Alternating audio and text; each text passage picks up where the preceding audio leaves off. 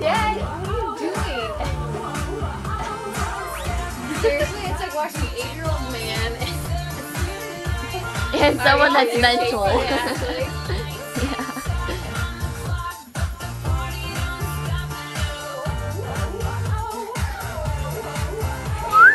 Share in the world, But got plenty of beer. But I'm already here, and now the dudes are lining up. Cause they hear we got swagger, but we kick them to the curb unless they look like Mick Jagger. Talking about everybody getting crunk. Woo! Mom, you look mental. Oh. Holy cow, yeah. I know.